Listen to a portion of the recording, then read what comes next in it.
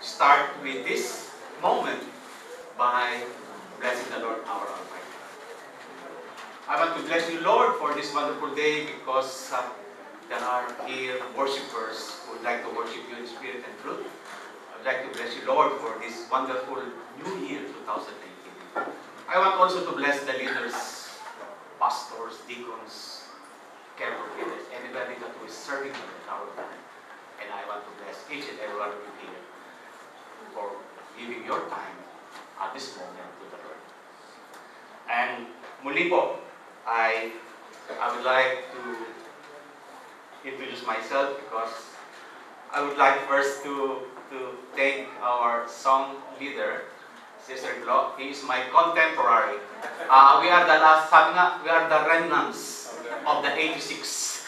So we are the last remaining species of the 86. So in a matter of time, we will be extinct. So just uh, sing us frequently because we will be moving away from this place. Not from planet Earth, but from this place. okay. Uh, we're here today to, to discuss about our annual theme, the Marks of a True Disciple, and the monthly theme, uh, Seekers of God. Am I right, Pastor? Okay. How do we start 2018? We should start our 2018 with the right direction. Because if we are not moving on the right direction, all the way, we are lost. We are moving in a certain destination. But if we start our direction in the first place, all of these things, all the way, we will be lost. I would like to invite each and everyone to, read the Bible, to read the Word of God. It's a short verse, and I would like to invite each and everyone to stand. Uh, let's all read all together. It's, I'm reading, we're reading from the NIV translation. John 14, 6. Let's start. Jesus answered, I am the way and the truth and the life. No one comes to the Father except through me. Let's pray.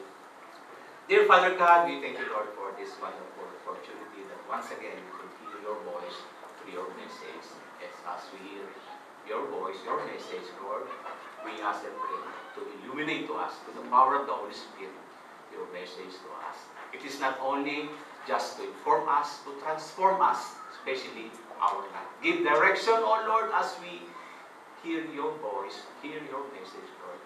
And we ask and pray, Lord, open our eyes, open our heart, so that this message we could live in our life. We ask and pray, Lord, in the mighty name of Jesus, our Lord and Savior. Amen. All sit down, please.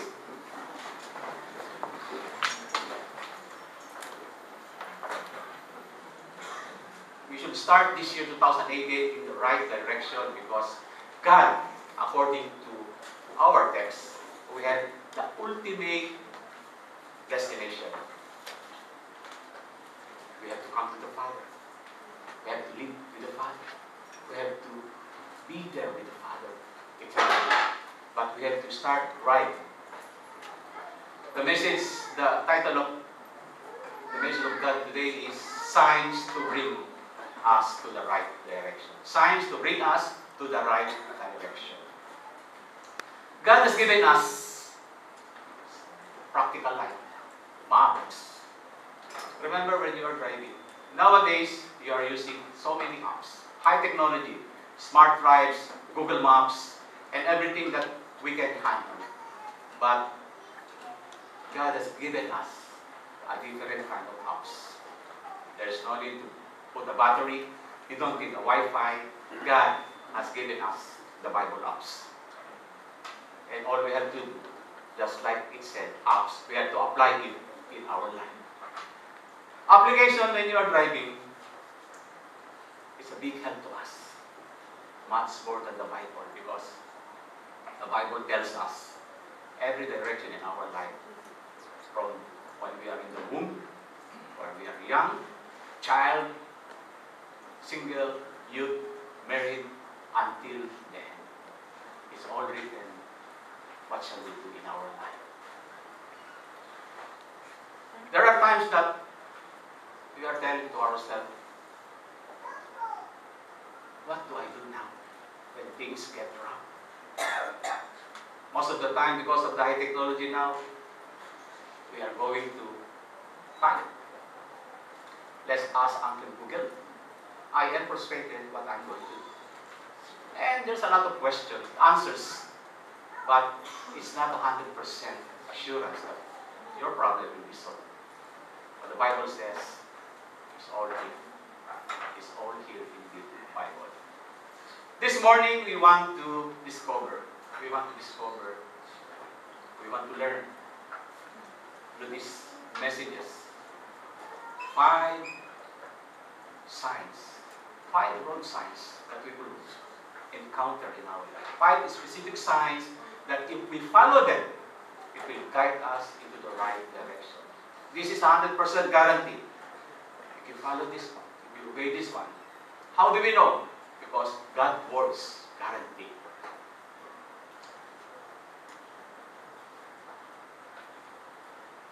What's a direction? It's a guidance or supervision of action or conduct, an order, regulation, or instruction they are used to reach a specific destination. And how about destination? The predetermined end of a journey. What's the end of our journey? It's with the presence, living with the presence of the Father. Living with the presence of the Father. That's the ultimate destination. There has to be a destination in order to be to have direction. God already had predetermined our destination for our lives.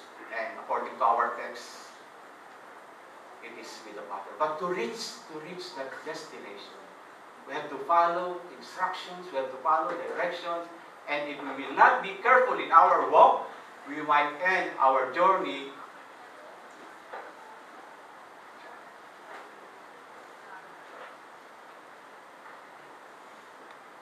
Our journey ends in two places. It's either with the Father or in Him. Remember, if we will not be very careful with our journey in our life, we have two destinations. One in heaven together with the Father's presence, and one in hell. Many years ago, I, many years ago, but not 30 years ago. Many years ago, when the old Deira fish market was there, I went there at around 9 o'clock. Because usually from 9 to 10, those fish, everything's there is like they're selling like, they're giving it free like hotcakes. So I take advantage of that one. And I park, and I put my parking ticket from 9 to 10. So I come out, I spend a lot of 30 dirhams. That's a big amount during that time. And surprisingly, when I went out, I have a parking ticket. I'm fine for uh, extend uh, over the limit party. I was so curious, angry, because according to my understanding, party in UAE only ends at 10 o'clock. Everywhere I go, it's 10 o'clock. So I tell myself, I should go back tomorrow and ask whoever in charge is. If I'm wrong, I will admit it. He is wrong, I'm sure he is wrong, then I will uh, ask the, the, the, the, the fine to be given to me. The next day, I was there, same time, same channel, 9 o'clock, and I waited for the officer. Sir, I just came here because I have my ticket. I was fined for this one. I parked my, my car here. I a parking ticket from 9 to 10. If I'm wrong, I will admit it. I'm sorry. But I would like to see who is wrong. It's you or me. The officer tell me, huh, ah. are you reading the time limit here? No, sir. The, the, the thing I know is, is until 10 o'clock. It's your fault. How come? Because, go please. Parking limit is until 11 o'clock. 11 o'clock. Don't park your car in the fish market. The parking limit is until 11 o'clock. The reason I'm putting this one to you is, if you are not following signs, road signs, especially in our spiritual life, our journey will not be a good journey. We have to pay a lot of penalties in our life. Today we'll be we'll be having five road signs that will guide us in the right direction. Number one will be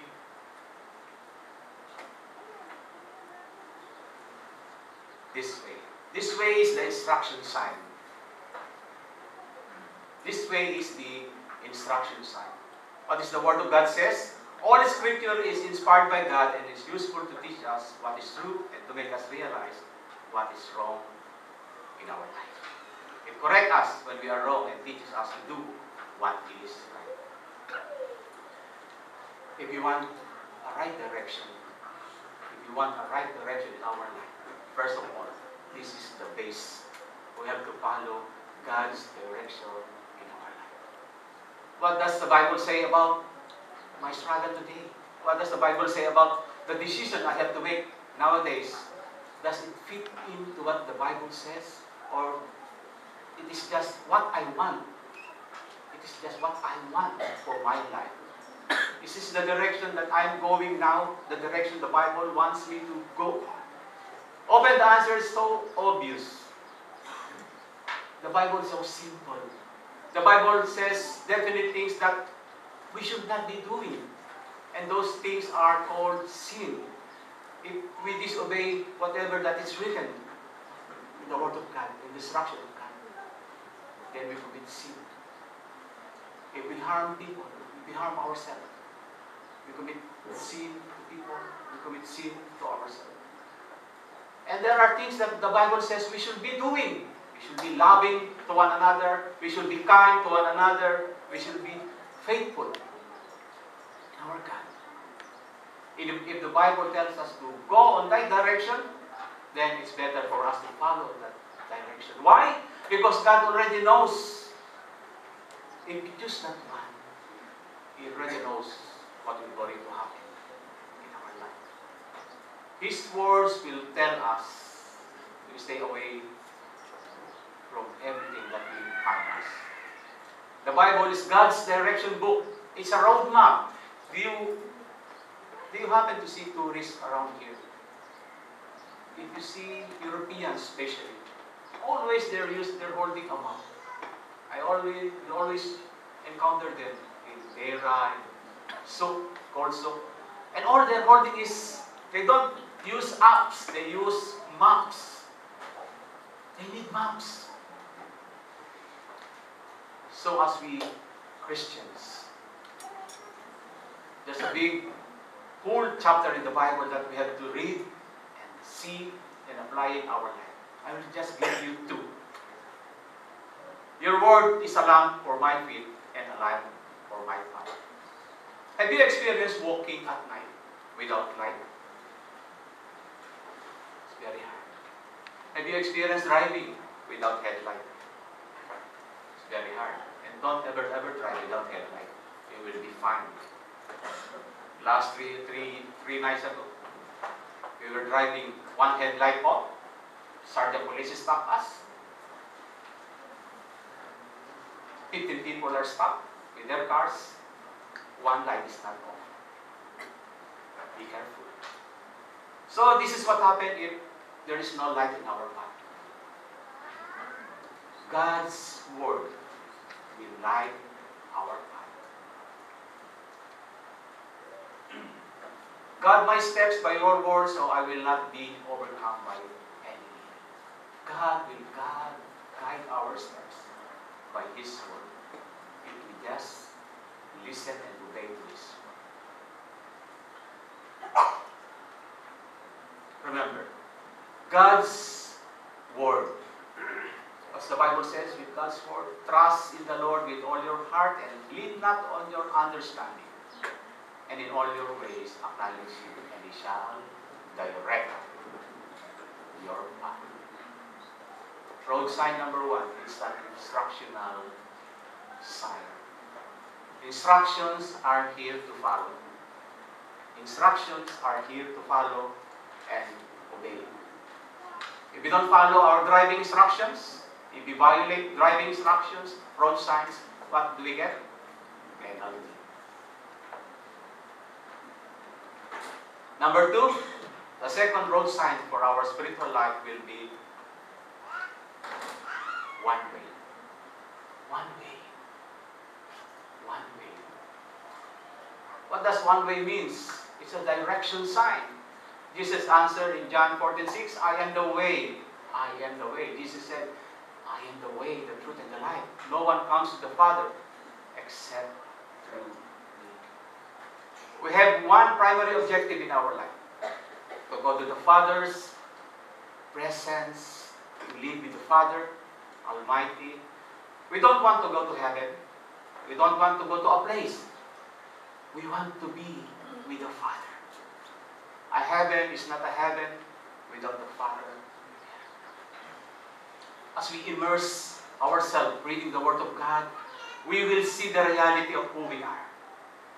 My brothers and sisters, try to immerse our mind reading the Word of God, and we will see how sinful we are. And as we immerse deeper, deeper, we will see how holy is God. And as we immerse our mind, our, our life, we will see that we need God most in our life.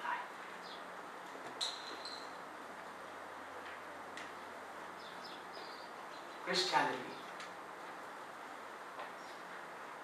We have the concept that God reached out to men to save him because man was saved, was helpless for himself.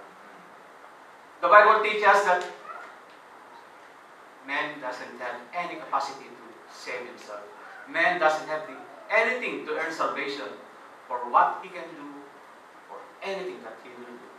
The scripture says, we are all, no one is righteous, everybody is unrighteous. Everyone has sinned and fall short of the glory of God. We are all infected with sin in our life. The more we display our our deeds, righteous deeds, the more we are displaying filthy rags in the eyes of God. The Apostle Paul makes clear in his word, salvation is only available through the sacrifice of our Lord Jesus Christ. And he carried our sins in the cross. And this salvation comes by the grace of God. We don't deserve Jesus Christ. We need to die because we are sinful. But what happens? Jesus Christ died and we live if we accept the Lord Jesus Christ. If we believe. Jesus answered, I am the way, the truth, the life. Any plan of salvation, any plan of man, any effort of man is considered as failure. But the Bible tells us that salvation has been available to us because Jesus came to earth and take away our sins. He carried our sins on the cross. That's why he says, I am the way. There's a difference between pointing the way and carrying you, accompanying you along the way. He accompanied us by His blood, by His body. That's why we can reach the Father. For God so loved the world that He gave His only begotten Son, that whosoever believes in Him shall not perish, but have eternal life. And all we have to do is to believe, put our faith on what Christ has did on the cross. Let's go on the next road sign. What do you see? It's under construction. What does it mean? It's the construction sign. Philippians 1.6, being confident of this, that he who began a good work in you will carry it on to completion until the day of Christ Jesus. Our journey, our life is a lifetime of choices, a lifetime of decision, a lifetime of so many directions in our life. But the most important thing that we have to ask in ourselves, will this choice, will this decision build me up or tear me down? Will it glorify God? Will my spiritual life grow? Do you happen to know how God put construction in our life? You might be wondering why and how. You will not learn to love until God will put you in a situation that you will be surrounded by unlovable people. You will not learn to love if people around you are lovable. God will put somebody, many around you that you will be angry, you will hate them. God wants to bring out, God wants to reconstruct us. How God will give us patience. Look at the supermarket when you are waiting to pay for the counter. God will put you in the long line where somebody will want to go in front of you, that you will have patience. God will put you in a prayer item that you will have to wait long because God wants to develop patience in your life. This is how one of the things that how God is reconstructing in our in our life. We want to be a better person. We want to remove these habits in our life. You want Him to free us, free us from problems that we are facing. We want to feel closer to God. The question is, are we asking ourselves if the decisions we are making right now, today, actually benefit us? The decisions that we are making today will help us grow. The decisions we are making today will be putting us on the right direction. It's the decision that we are making today. It is, it is what God wants me to be on this day. God is not finished with us yet. And each and every one of here are facing trials, situations in our life.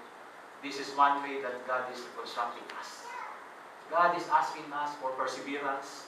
He wants to put perseverance, our perseverance, our patience, our love, everything, everything in our life. This is how one of the method that God is reconstructing our life. 1 Corinthians 10.23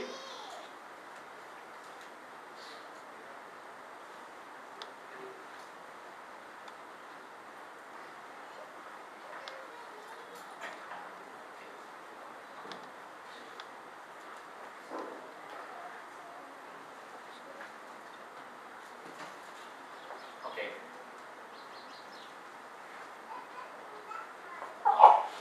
Do you feel yourself under construction today?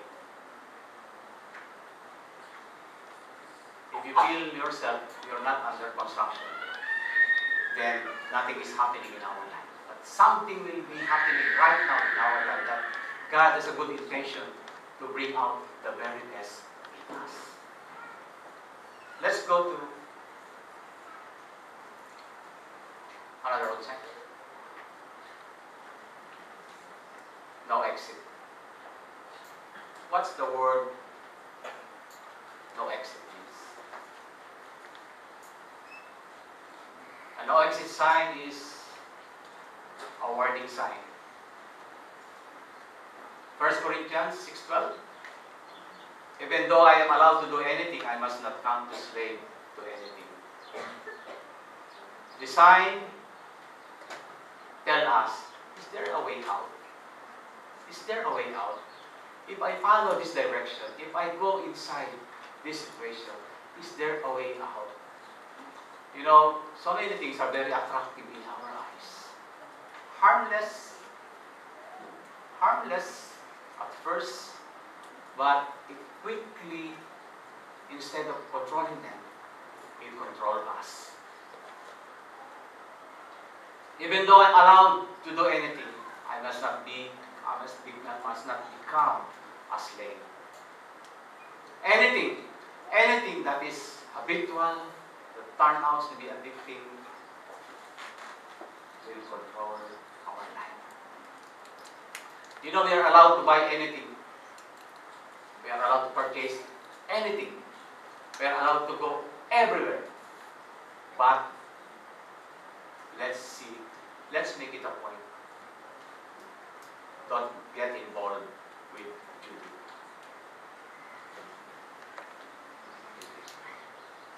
Sabi who is Judy? Don't get involved with Judy. You know who's Judy? For those who don't know Judy, I would like to introduce you. When you use your card, credit card, you have to pay a certain due at every month, at every date. That's why we call her Judith. Judith in short. Credit card is good. It is designed for us to help us in emergency.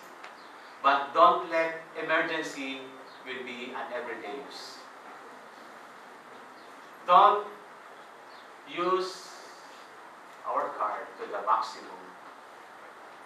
And if ever, pray to God. Don't ever, ever make a relationship with Judy. Because sometimes, if we have a relationship with Judy, there is no exit. It's very hard to get out on that relationship. You know, the first command in the Bible is do not worship any other gods besides me. Said this commandments because he know how easy for us to make idols gods in our life. He knows how quickly we are attracted, addicted to our idols. You know, when we speak of idols, it always comes into my mind, our mind, that idols are statues, are stones. An idol can be an anything that gets in our way in our relationship with God. Anything that takes away our precious time God. It could be a small thing, but if you are putting a lot of so many time on that small thing, then that small thing is like a big idol. if you look at uh, in the internet, there are 2,000 classified addictions that we don't have to get into. We have to examine our life today and what is the thing that takes away our precious time away from God. Let's see our cycle. Wake up in the morning, 4.30, 5.30. We go at work, 8 o'clock. We finish work, 5 o'clock. We travel, 6 o'clock. We reach at home, between 7. From 7 to 12 o'clock, there are only 5 hours a day. We have to take care of our children, family. We have everything and so many things.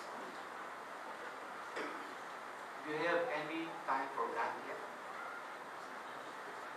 Do you have any time, any time left for God?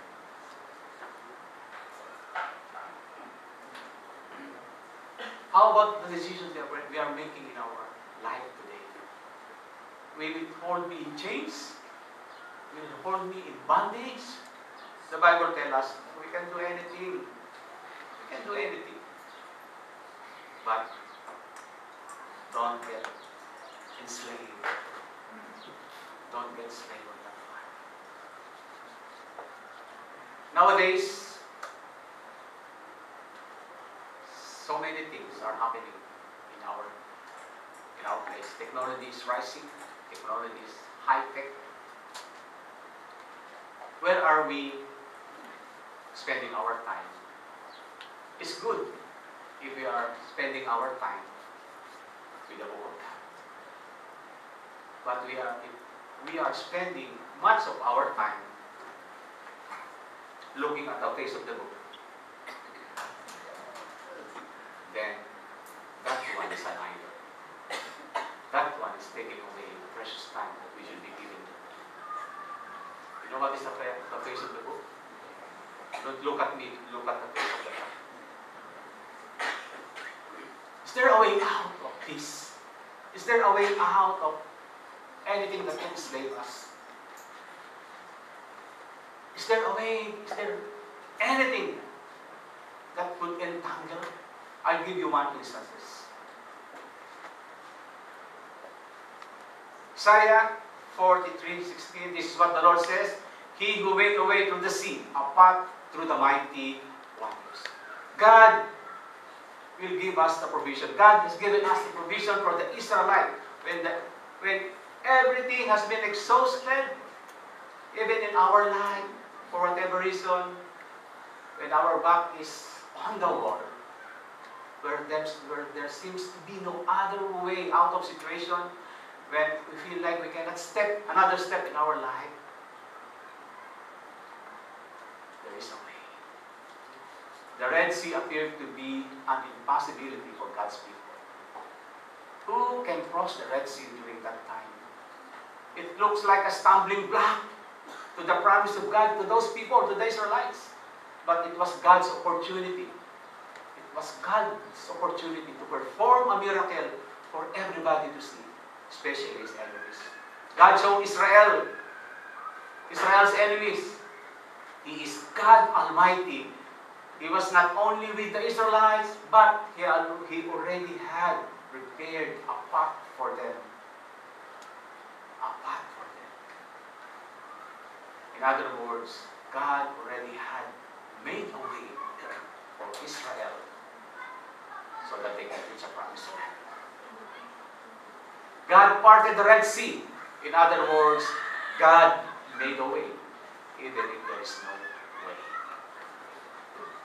God made a way for Israel in the sea. God made a way, made a way for Israel in the wilderness. There's no food, but God made a way for them to have food. He will make a way for us in times of testing and trials. He will make a way for us, whatever circumstances that we are in. The reason God continued to make a way for us is because He loves us. He loves us so much. He sees our needs. He sees our needs through His lens of love. He sees our needs through His lens of love. If you are having a hard time right now, if you are in the situation that you cannot do anything in your life, slave, my brothers and sisters, there is a way. Regardless of how high your sea is today, regardless of how rough the water you are passing through, regardless how strong the winds are battering your life today, God will make a way out of no way. If you view your Red Sea right now, just like God's view, God's through His lens, God's His you will see that your water of the Red Sea has already been My brothers and sisters, we have gotten to this point. Many of us here are discouraged. Many of us here, no matter how they follow the instructional sign, they have lost. They have not listened. They have not obeyed. They have not traveled to the right side of the road. They have not made decisions. Decisions they are making, they are tearing up their lives. My brothers and sisters, there is hope. There's still hope. There's still hope in our life. The Lord says, Come to me. Don't come to anybody. The Lord Jesus says, Come to me, all you are weary and burdened, and I will give you rest. Take my yoke upon you and learn for I am gentle and humble and you will find rest for your souls. For my yoke is easy and my burden is light. The last sign, the last sign will be this one. The sign of hope. The sign of love. I do not know each and every one, mostly here. Belong to that 32nd generation of this church. You are the new generation of this church. But this is the wonderful thing about standing here as a preacher. I don't need to know each and everyone's name here right now.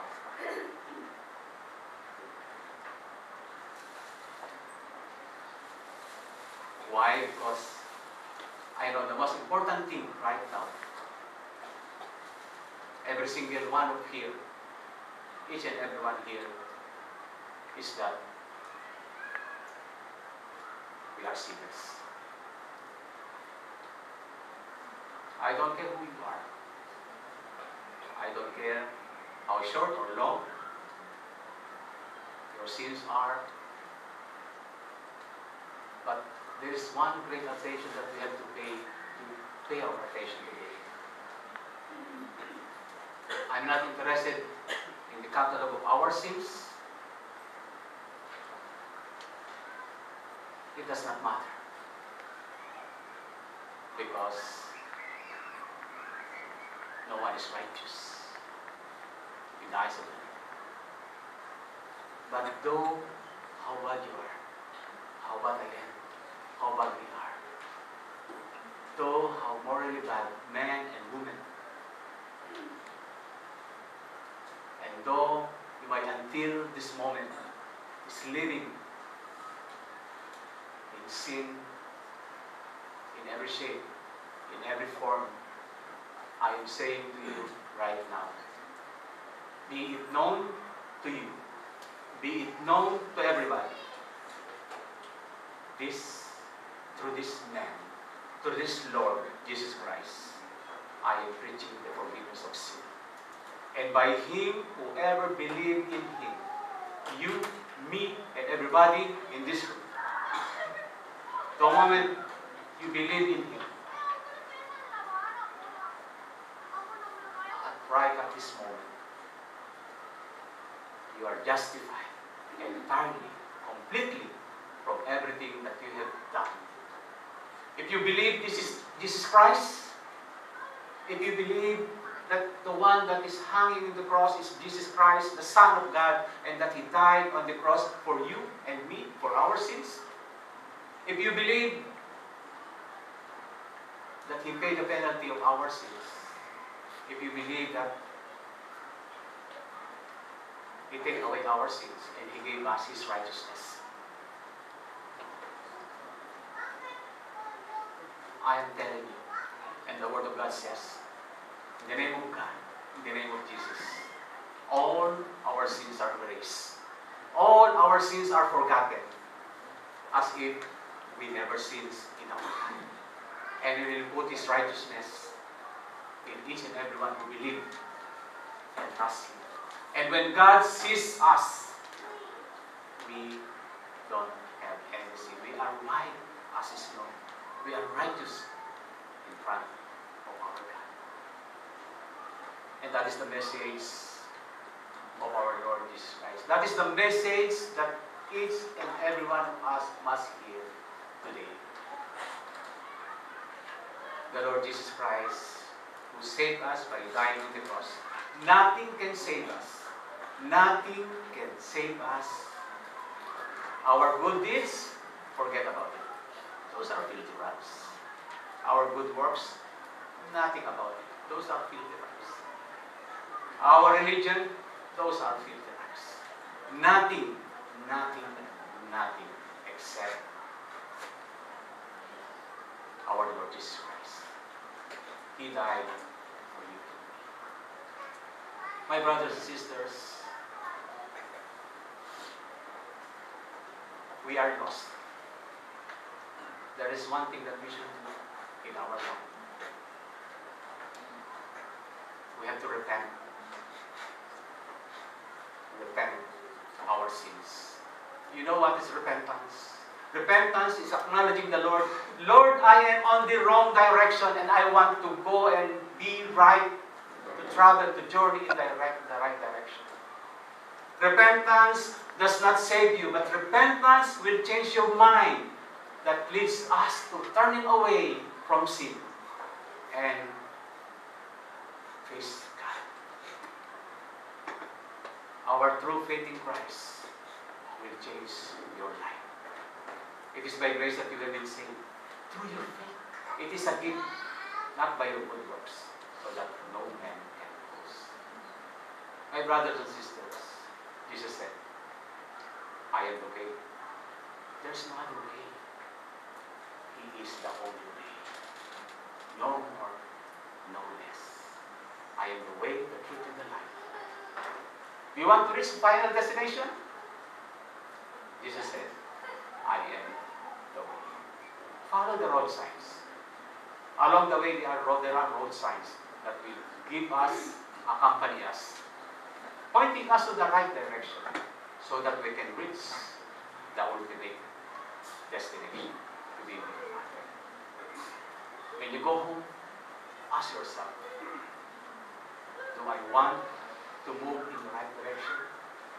Do I want to be entangled in the sins that so easily entangles me in my life? Then pray to God. Pray to God that ask forgiveness.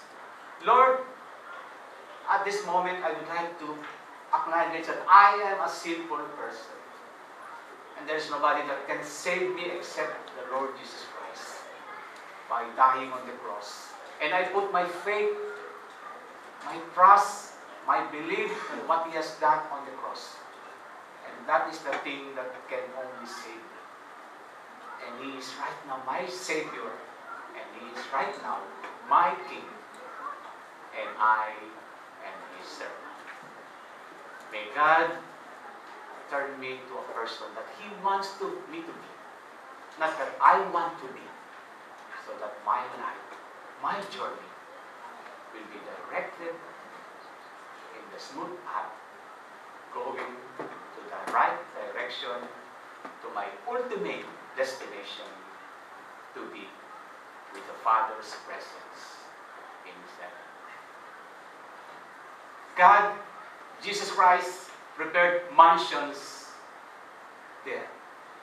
When He said He prepared mansions, He is preparing for you.